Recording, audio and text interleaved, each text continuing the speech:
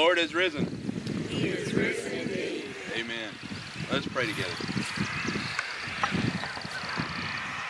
Lord Jesus, we come this morning grateful for the dawning of a new day, a dawning of a day, Lord, that means so much to us, so much to the world.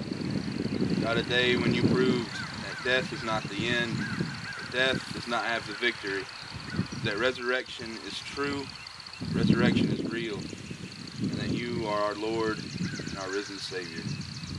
And as we've gathered in this place, Lord, among these, our friends, our family, those who are with us, those who've gone on before us to join the great cloud of witnesses, God, we pray that we are mindful.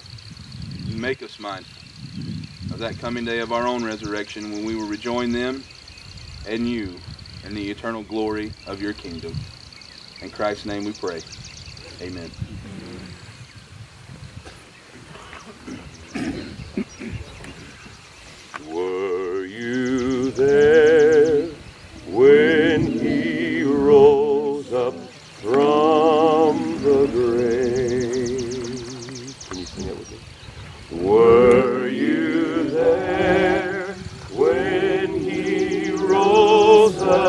From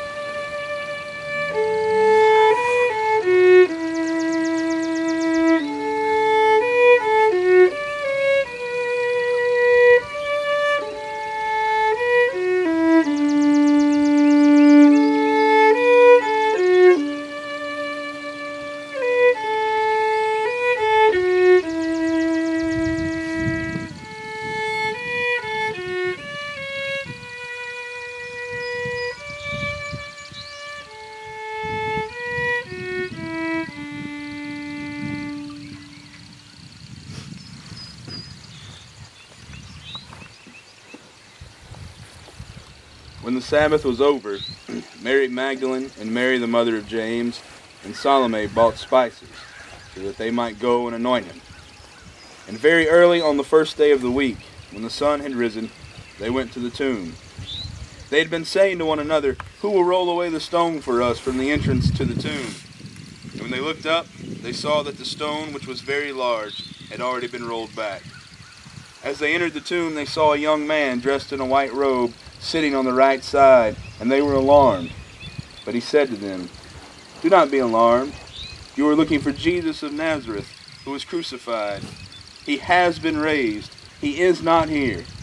Look, there is the place they laid him. But go tell his disciples and Peter that he is going ahead of you to Galilee. There you will see him, just as he told you.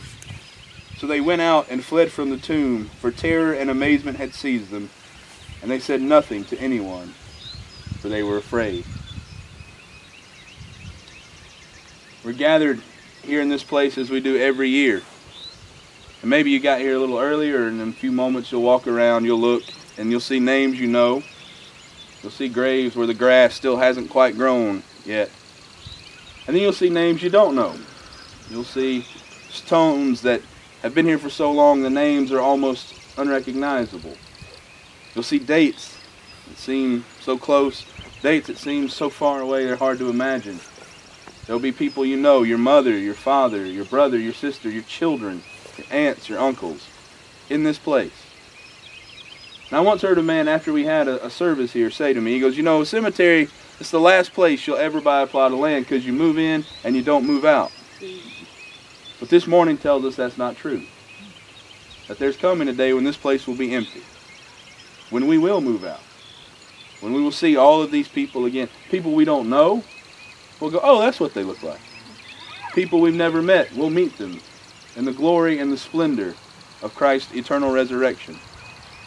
And on that first morning, when the women went to the tomb, Mark tells us that they left and told no one because they were afraid. But we also know that's not true. Because we know that they had to tell somebody. And we'll go out from this place this morning. We'll go over to the church. We'll have breakfast. We'll have worship this morning. But let us not be afraid. Let's not be afraid of whatever may come, what death may come, what trials may come. For if this morning teaches us anything, it said after night comes the morning. After death, there comes a resurrection. After every down, there comes an up.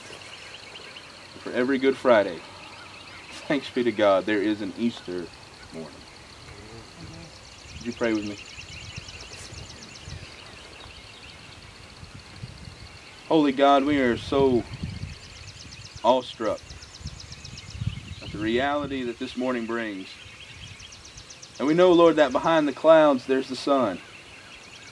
That behind death there's resurrection. That behind the night there is the morning. And so, God, we are thankful that we can be in a place like this and know, and know, God, that it is not forever. But there is coming a day when these graves will be emptied.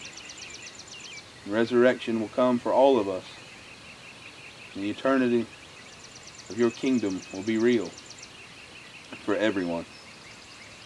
So, Lord, help us to be mindful of that this day, to celebrate in the joy of Easter, of your resurrection, and what it means for us, for all of humankind. Give us that joy in this morning, we pray, O Christ, in your holy name. Amen.